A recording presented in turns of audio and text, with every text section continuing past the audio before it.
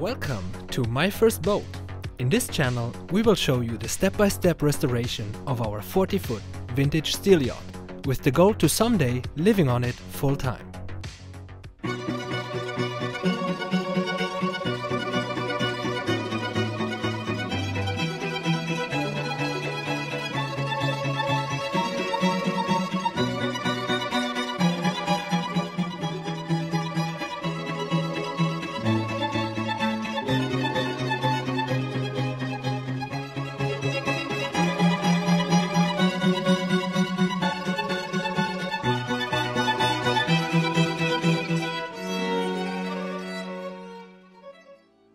One could think that it gets easier with every week that has passed. I find the opposite to be the case. The more I commit, the more I invest time and money into this project, the harder it gets to live up to the ever increasing standard. Add to this that we are slowly but surely running out of both time and money, then you can get an idea of the challenges we are currently facing. But I'm not complaining. In fact, let me first show you how we went from this mess of a diesel heater installation to this.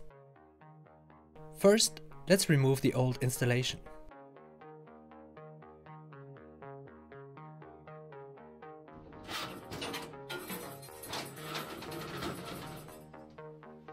Just look at this old Frankenstein of a stand.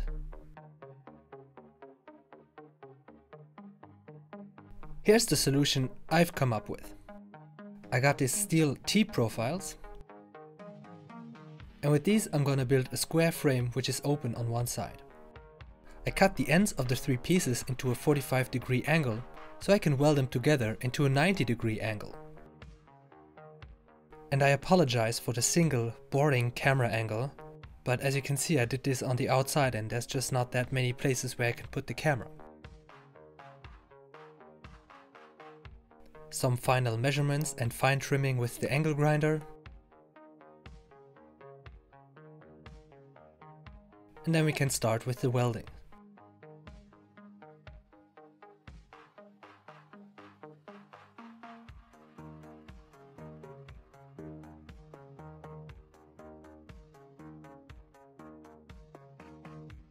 I round off the corners because I will bump into this with my head and like this I just get a bruise and not a trip to the hospital.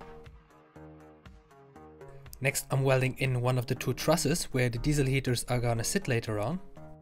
And yes, I said heaters with an S. In fact, I'm building a structure which allows to mount two diesel heaters. Next I drill the hose for the platform that comes with the diesel heater.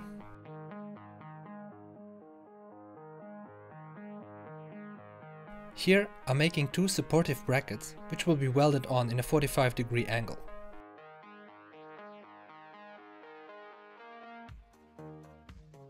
So let's weld those brackets in place.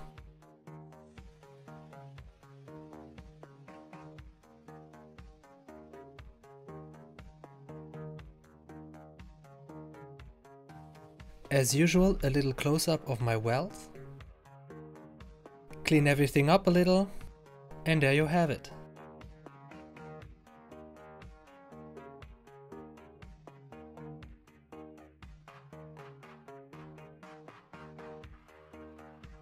Let's apply some zinc aluminum spray to protect the welds against corrosion.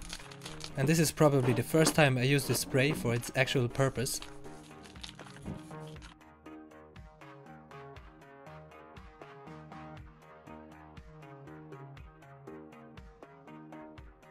Put some thread locker on the screws that hold down the platform of the diesel heater to prevent it from falling off due to vibrations of the motor or other. Alright, next let's find the right position and see if it fits. Looking good. The old stand comes in handy to keep the new piece in place while I'm welding. We just have to get it to the right height.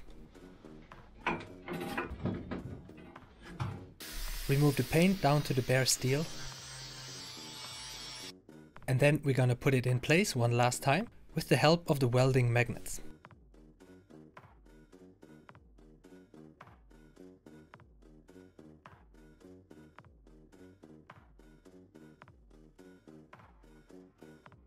And you know it's gonna be good if you start a fire within the first 10 seconds of welding.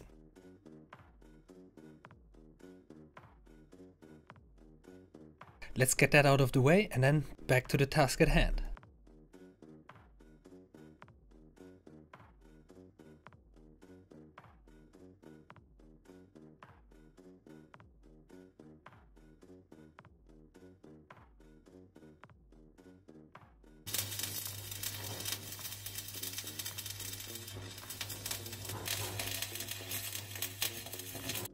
And voila.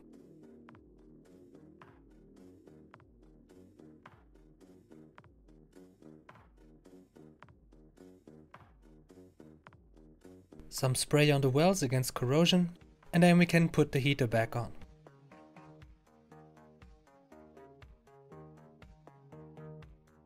And there you have it. The remaining of the installation is gonna have to wait until next week and we might have to add an elbow on the exhaust pipe here but those are all minor things. For now I'm just happy that the diesel heater is installed in a more streamlined and efficient way and that we can add a second one quite easily if the need ever comes up and just look at all the space we freed up underneath. Next, let's continue the saga of those newly discovered, heavily rusted areas in the helm of our boat. I was surprised to see that last week's video received way more negative comments than usual and as I kept thinking about the cause of this, it suddenly dawned to me. In my haste of finishing the video, showing you all the things I did in that week, I totally forgot to explain why I did what I did. You see, of course I know that this wasn't the proper way of doing things and that that rust would have to be cut out completely and replaced.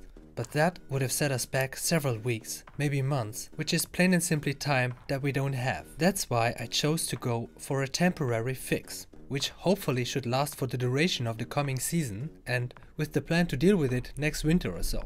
Now some of you are going to say that if you don't do it right, don't do it at all and in the end I create more work like this and you're right. But at the end of the day, this is my project and this is the path I've chosen. So, without further ado, let's continue with the build.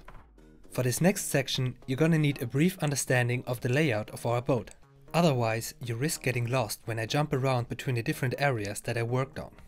The interior of our boat is separated into four cabins or rooms or whatever you want to call it. The forward cabin or galley and the aft cabin both reach a little into the helm. This creates these two areas underneath the windows, which somebody once called consoles, and that's the term I'm going with here. And then of course what's the console in the run room is the roof or ceiling in the other so those holes in the consoles which have rusted through and through can be seen on the ceilings respectively of the forward and aft cabins.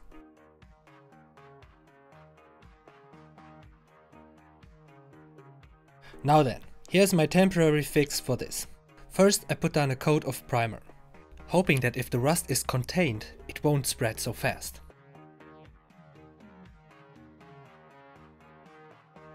I then cover up the other side of the holes with some cardboard.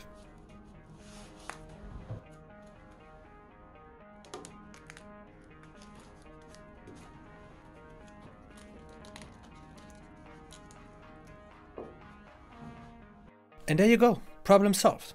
Just kidding. The cardboard of course only serves to contain the glass fiber filler paste, which we're gonna fill in next.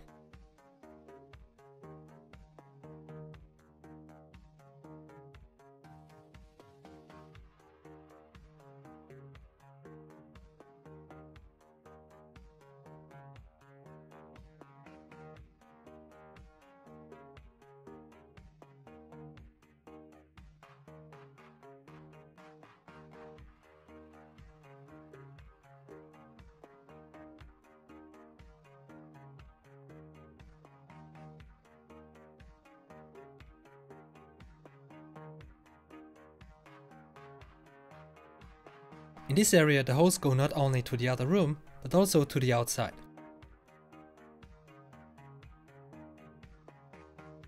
So let's prepare the hole from the outside.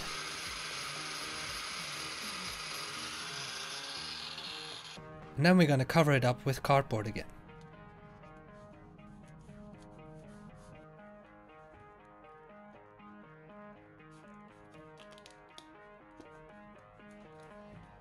Now that the holes are covered, we can apply the glass fiber filler paste.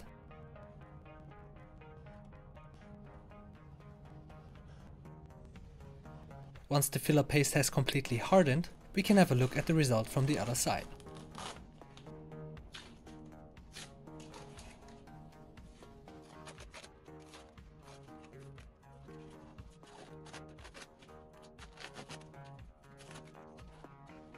Let's sand away the excess material so we get a nice flat surface. And this is looking very well to me. Then we fill up the remaining irregularities with some fine filler paste. We sand everything down, put some paint back on it and pretend nothing ever happened.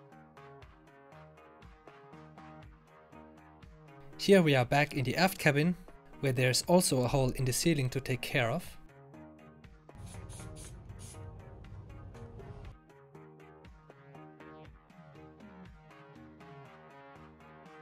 And then there's the hole that's going to the outside. Here too we put some fine filler paste and then we're gonna leave this until we work on the outside. There's this rusted corner in the doorway to the aft cabin.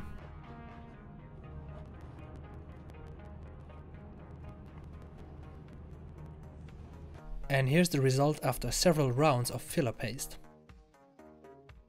Now then, let's sand the cured glass fiber filler paste on top of the consoles.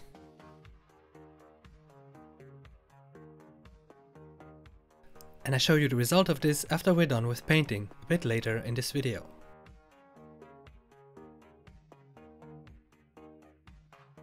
Right now, as promised, I show you the result of my works on the exhaust pipe, where I removed the rust last week and covered it in Owatrol rust converting oil.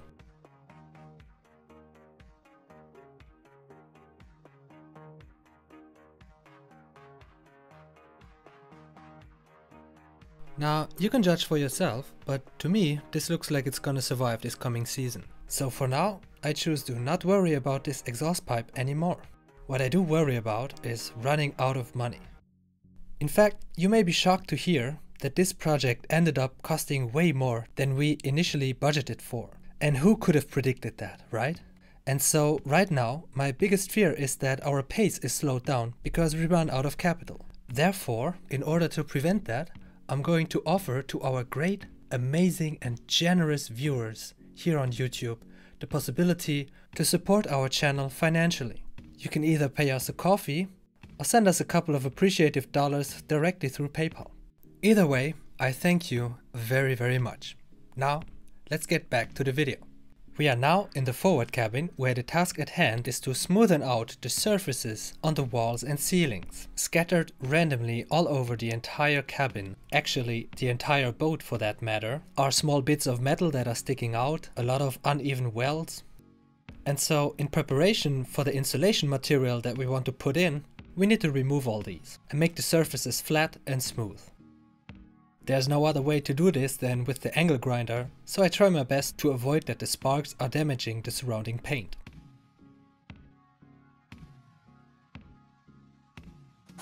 I use compressed air to spray down the walls and wipe them with a cloth before painting.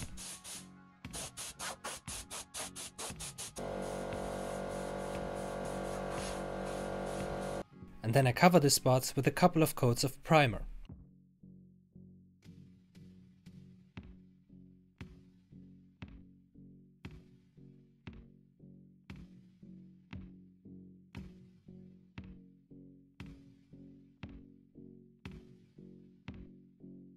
I don't want to grind away too much on the welds that are sticking out, because they are literally what's holding this boat together, so I use some fine grain filler paste to compensate for the elevation. There were also a bunch to do on the ceiling.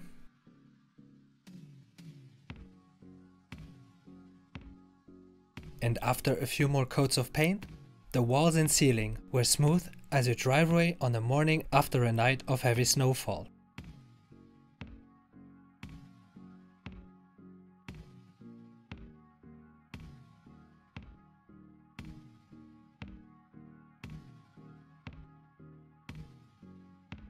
I had to do the same thing on slightly fewer areas back in the aft cabin,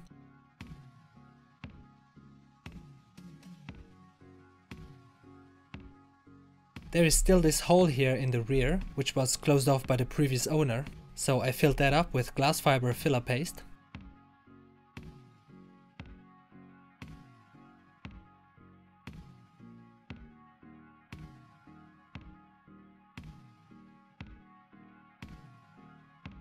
I had to do a couple of rounds of glass fiber paste on this one.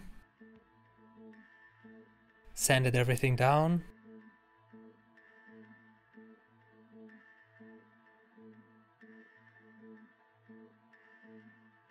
Gave it a coat of anti-corrosion spray, just in case. Applied some fine grained filler paste, sanded that down, and then a final coat of paint. Now the aft cabin will get another entire coat of paint eventually, but that's where we are at here for now. Alright, now on to the final big job of this video, which is to paint the helm. I found another inscription, this time it's done in chalk, and if anybody here can read it, please do tell me in the comments. So after sanding all the surfaces, I put down a coat of Owatrol oil to add a protective layer between the steel and the new paint.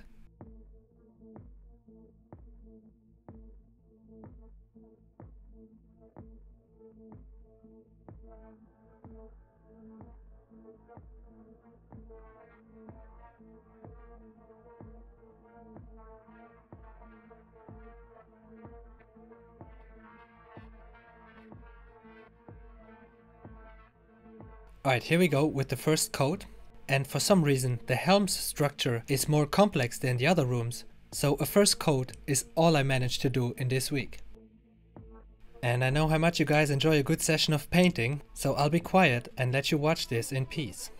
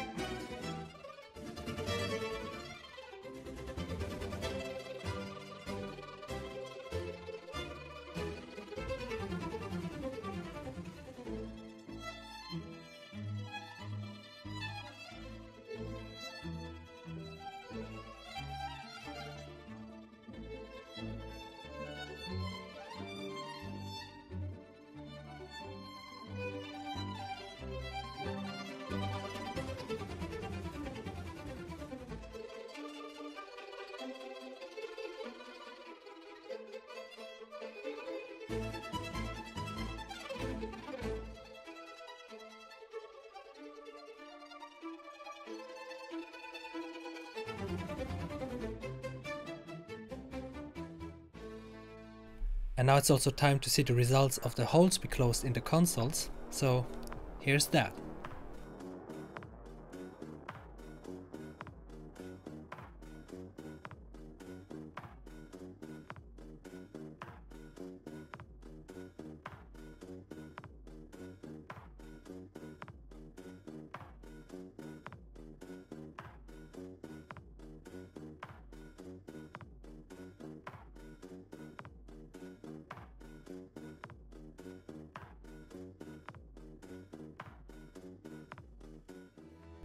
And with that, my friends, I'm signing off. Thank you all for watching and see you in the next video.